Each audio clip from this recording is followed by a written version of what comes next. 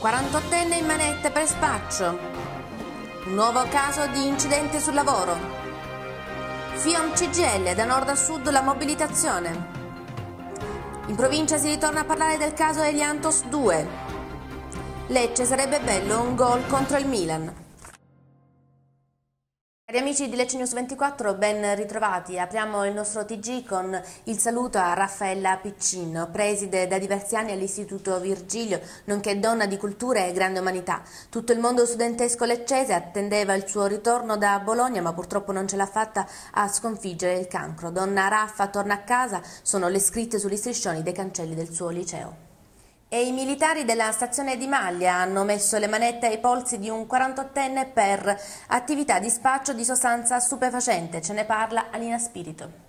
Era sottoposto all'obbligo di dimora per precedenti reati, ma continuava tranquillo nella sua attività di spaccio. Si tratta di Cosimo Treglia, 48enne di Cursi, che è stato colto in flagranza di reato dai militari della stazione di Maglie. A seguito di perquisizione domiciliare, l'uomo è stato trovato in possesso di una lunga serie di sostanze illecite, quattro involucri di incarta assagnola contenenti 4 grammi e mezzo di hashish, un bilancino di precisione, tre involucri contenenti 4 grammi di marijuana, una piantina di marijuana dell'altezza di di 20 cm, una busta contenente 86 grammi di altra marijuana. Infine la somma contante di 110 euro. Nella stessa circostanza è stato denunciato anche un quarantenne, in quanto sorpreso all'uscita dell'abitazione di Treglia in possesso di due involucri in carta stagnola contenenti un grammo e mezzo di marijuana. Cosimo Treglia proseguirà quindi i prossimi tempi presso la casa circondariale di Lecce. E notizia delle ultime ore, ancora un altro incidente sul posto di lavoro. A Martano è precipitato al suolo un dipendente della ditta Ex Energia mentre era intento a installare alcuni pannelli solari presso un'abitazione privata. L'uomo, un 62enne residente a Statte in provincia di Taranto, a causa delle gravi ferite riportate, è stato trasportato presso il Vito Fazzi di Lecce. E passiamo ora al caso FIOM CGL, in attesa dello sciopero generale indetto per il 28 il sindacato insieme ai suoi iscritti si sono riuniti questa mattina. Sentiamo. Da nord a sud, oggi tutti col fiato sospeso in attesa del verdetto del voto, quel voto che potrebbe cambiare il futuro e stravolgere ancora di più il potere sindacale nell'industria italiana. Il verdetto di una storia che sembra già ancora una volta scritto dall'alto. Lo chiamano l'accordo della vergogna, FIOM-CGL, un accordo che di fatto cancella tutta la storia di relazioni sindacali costruita nel nostro paese dal dopoguerra a oggi. La Fiat impone in fabbrica nel sistema delle relazioni industriali italiane un modello aziendalista e neocorporativo, scrive in una nota la FIOM-CGL, cancellando il pluralismo sindacale riducendo ad un unico sindacato per un'unica compagnia, la Chrysler Fiat. Si costituisce un contratto unico nazionale per le aziende del settore auto della Fiat alternativo ai contratti nazionali di lavoro, che peggiora le condizioni di lavoro a partire dall'introduzione del modello pomigliano anche a Mirafiori. E come se non bastasse, dopo giorni di silenzio del governo, il benestare del Premier allo spostamento della produzione Fiat, qualora si dovessero rifiutare i termini dell'accordo. A commentare le parole di Silvio Berlusconi, Donato Stefanelli, segretario regionale FIOM CGL. È difficile replicare, come dire, battutacce del genere, una vera bestemmia. Credo che gli italiani debbano riflettere su chi sono i nemici di questo paese. Da ieri sappiamo che i nemici dell'Italia, dell'apparato produttivo industriale italiano, dei diritti dei lavoratori, delle lavoratrici, sono due. Marchionne, che pensa di competere abbassando le tutele e negando i diritti fondamentali ai lavoratori. E Berlusconi, il quale, per come dire, mh, acquisire le, il sostegno di un pezzo importante di quella che comunque è stata l'industria italiana, cioè Fiat, in un momento di crisi del suo, della sua egemonia in questo paese, la butta in una maniera che è sicuramente da respingere. Un accordo che riduce le pause, riduce i salari, che mortifica sempre più gli operai. È un destino già scritto.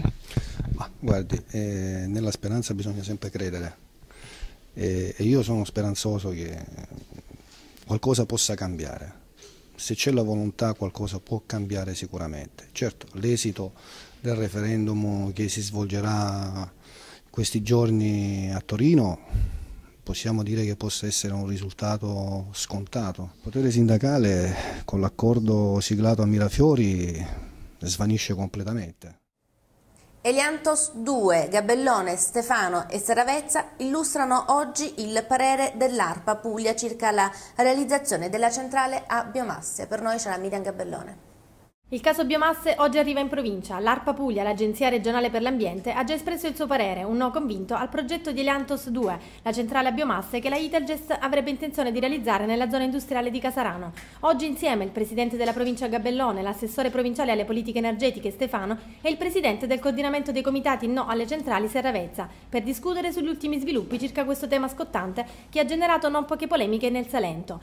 A sostegno della sua tesi l'ARPA ha presentato una serie di argomentazioni. La centrale da 20 25 MW è di grossa taglia ed è alimentata da oli non prodotti in loco, dei quali non si ha alcuna certezza di qualità, della provenienza e della sostenibilità ambientale relativa alla loro produzione. Per questo Eliantos 2 è in contrasto al piano energetico regionale che prevede invece la possibilità di realizzare piccole centrali a biomasse alimentate con materie prime prodotte in loco, quindi a totale filiera corta. Il progetto inoltre è in contrasto con la direttiva del Parlamento europeo, la quale impone che gli oli non provengano da terreni con elevato valore di biodiversità e per questo è necessario che la società dimostri il rispetto dei criteri di sostenibilità. Italgest dice ARPA non ha ottemperato a questo obbligo. È necessario inoltre presentare un monitoraggio ex ante dell'area, così come indicato dagli uffici della provincia di Lecce, e l'ARPA sostiene che, poiché la centrale si dovrebbe realizzare in una zona densamente abitata, sia necessario misurare i livelli di inquinamento e di emissioni oggi e per almeno un anno per capire l'impatto di una grossa centrale sulla qualità attuale dell'aria.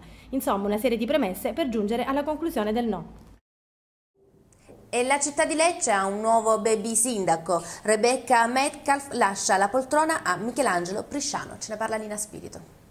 Una giornata importante quella di ieri per i ragazzi della città di Lecce, infatti si nominava il baby sindaco. 16 candidati per una poltrona, ognuno dei 16 rappresentava la propria scuola, primaria o secondaria. L'appuntamento nella sala consigliare di Palazzo Carafa su convocazione del sindaco Paolo Perrone. Dopo la proclamazione dei consiglieri eletti il 26 novembre 2010, i ragazzi hanno espresso il loro voto e hanno eletto il loro sindaco. Il verdetto ha visto vincere Michelangelo Prisciano, frequentante la scuola Quinto Egno sul filo di Lana Luciana. Cinque voti infatti per il ragazzo che stacca di solo un voto ben tre candidati. Si tratta di Alessandra Medico, eletta vice sindaco, Sara Muscedda e Maria Concetta Pallara, entrambe nominate assessori della giunta. Il giovane Michelangelo ha pronunciato la formula del giuramento e ha ricevuto dal sindaco senior l'investitura con la fascia. Arte e diverse abilità, un binomio possibile per. Da domani 14 fino al 23 partiranno una serie di appuntamenti tra arte e disabilità. Sentiamo. Partono domani, 14 gennaio, fino al 23, una serie di iniziative sotto un unico nome, Arte e diverse abilità. Due importanti convegni, la pratica artistica come antidoto alla noia e al disimpegno e il discobolo moderno, dalle disarmonie del corpo e della mente alle armonie possibili, prospettive sui nuovi canoni etici ed estetici. Poi sarà la volta della mostra di Massimo Marangio, docente di discipline pittoriche presso il liceo artistico Ciardo di Lecce, in esposizione presso l'ex convento dei Teatini. L'iniziativa consiste in una mostra di pittura a scopo benefico, finalizzata finalizzata a finanziare l'acquisto di ausili necessari alle persone disabili. Qui c'è stata grande attenzione da parte della provincia su un'iniziativa proposta da sfida del Sindacato Famiglie Diversamente Abili ed è un grande momento di riflessione perché il progetto riguarda non solo la mostra ma anche lunghi momenti di dibattito con esperti laddove si vuole proprio mettere in luce quelle che sono le diverse abilità di chi vive con disabilità, eh, abilità che spesso si manifestano proprio nel mondo dell'arte attraverso eh, la produzione artistica in questo caso, il progetto prevede tra l'altro anche il coinvolgimento delle scuole, ci saranno poi dei laboratori e altre attività eh, artistiche messe in atto dagli studenti delle scuole e dagli studenti diversamente abili. In questa diciamo, eh, iniziativa eh, con più serate, con più situazioni, una mostra, eh, due convegni, conferenze eccetera, noi l'abbiamo voluto abbinare grazie al Presidente Vito Berti e a tutti i collaboratori all'arte e quindi vederla in questa prospettiva, l'arte come possibilità anche non solo di riscatto ma anche di dimostrazione di come la persona, eh, secondo alcuni, è disabile o diversamente abile, per molti altri può essere anche artista e può essere uomo o donna di cultura, molto più di chi è normodotato. Officine della musica aprirà i battenti sabato 29 gennaio presso appunto le officine Cantelmo, uno spazio dedicato alla musica. Ce ne parla Miriam Gabellone. Prende ufficialmente il via il progetto del Comune di Lecce dedicato alla musica indipendente giovanile. Officine della Musica mira a trasformare le Officine Cantelmo in una casa della produzione musicale indipendente salentina. Un ricco programma di concerti, incontri di formazione, tour promozionali, videoclip, partecipazione a fiere, un sito internet ed una serie di attività di intervento sui bisogni sociali. Il tutto partirà dal prossimo 29 gennaio. Tante le esibizioni, dal cantatore Romeus ai Phonokit, dal rapper Marrakesh alla splendida voce internazionale di Melissa Auf der Maur. Le officine della musica nascono come luogo di formazione e specializzazione di figure professionali operanti nell'ambito musicale. Per questo una serie di incontri e corsi realizzati in collaborazione con l'Università del Salento apriranno una finestra sulla storia della musica e soprattutto del rock. E ora qualche santa di pubblicità.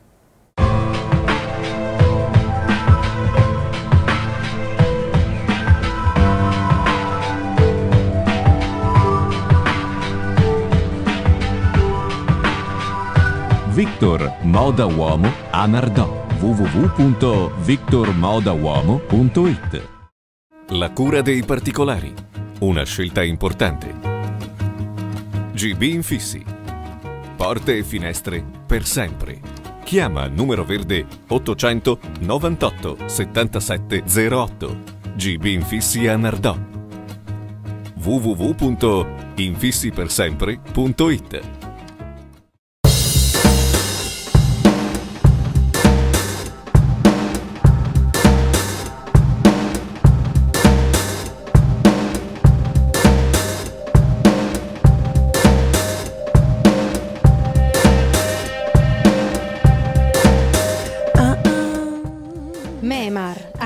archivia, elabora, digitalizza www.memar.it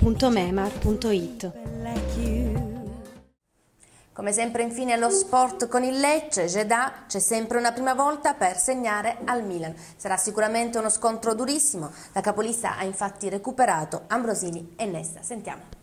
Dopo la partenza al fulmicotone con l'ingaggio di Tomovic, ancora prima dell'apertura, il mercato giallorosso sta vivendo una fase di stallo.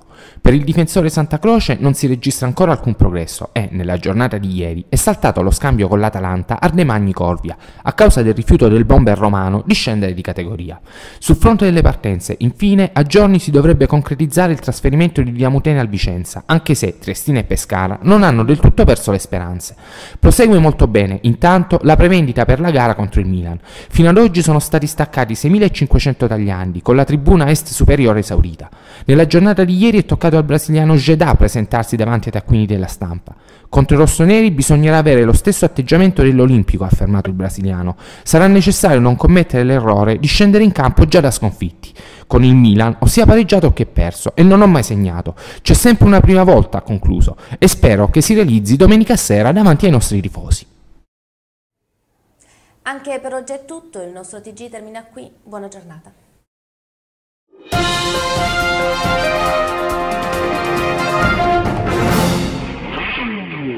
Glamour